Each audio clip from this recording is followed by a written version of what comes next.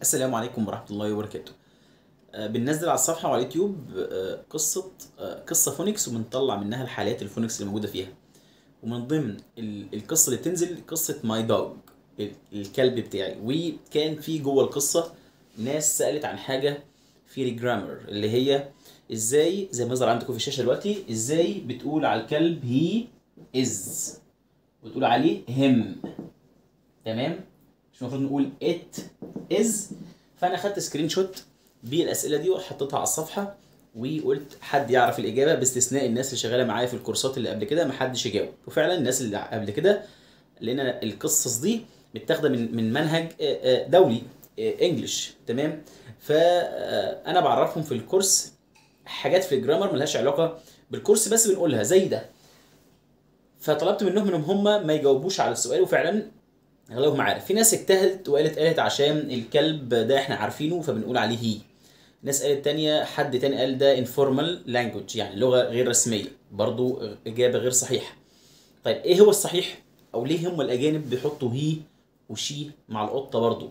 هقول لك قاعدة مهمة جدا أو مش قاعدة حاجة هم بيعملوها. ممكن ما تنفعش معانا إحنا كمسلمين تمام؟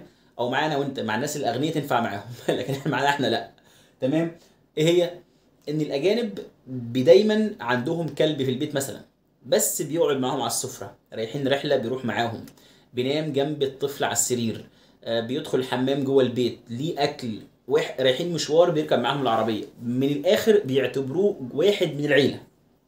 واحد من العيلة. ففي الحالة دي ينفع أقول على الكلب he is وينفع أقول على القطة she is تمام؟ طب إحنا هنا كمسلمين ينفع؟ طبعا إحنا لا إحنا كمسلمين محرم علينا ان إحنا نقتني كلب. الرسول صلى الله عليه وسلم قال لتدخل الملائكة بيت فيه صورة وكلب. صورة تجسيد لحد حتى لو أبوك لو أمك لو شخصك الملائكة ما البيت ده. لأن ده أنت بتشبه نفسك أو بتشبه ال- المصور بصفة من صفات ربنا هي الخلق أو الإنشاء. ما علينا ده مش موضوعنا.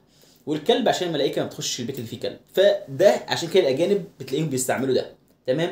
إحنا بقى ممكن كعرب بنستعملها إمتى؟ بنستعملها كمان ممكن نستعمل مع الشخص العاقل كلمة it إزاي؟ أنا بخبط على الباب واحد يقول لي who who is مين أقول له it's me إنه أنا. it's me أهو غير عاقل. يبقى أنا ممكن أستخدم ضمير العاقل مع الغير عاقل زي ما قلت لك الأجانب. قطة أو كلب بس بيعتبروه واحد من العيلة وحتى لو مات بيعملوا عليه حداد ويلبسوا عليه أسود كأنه وا- واحد من العيلة. وإحنا عندنا برضو هنا في اللغة بتاعتنا أو في المناهج بتاعتنا ممكن نستخدم it مع غير مع العاقل. زي أقول حد بخبط على الباب أقول who is يقول لي it's me إنه أنا. ممكن برضو الطفل الصغير ال baby أقول عليه it's a baby ما مثلا ما الطفل عاقل. لا الطفل يعني بيعتبر لسه ما نماش عقله ما نماش أو ما فهمش حاجة فبيعتبره هو إن هي ينفع أستخدم it مع إيه ده كان إجابة السؤال.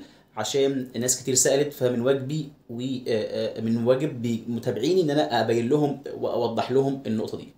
ولو عندك سؤال ما تبخلش على نفسك بالسؤال اكتبه. أنا أي سؤال باخده screenshot ولازم أطلع أطلع أجاوب عليه. فلو عندك سؤال اكتبه وقولوا لي إيه رأيكم في سلسلة القراءة ديت حلوة ولا لأ؟ وأشوفكم على خير والسلام عليكم.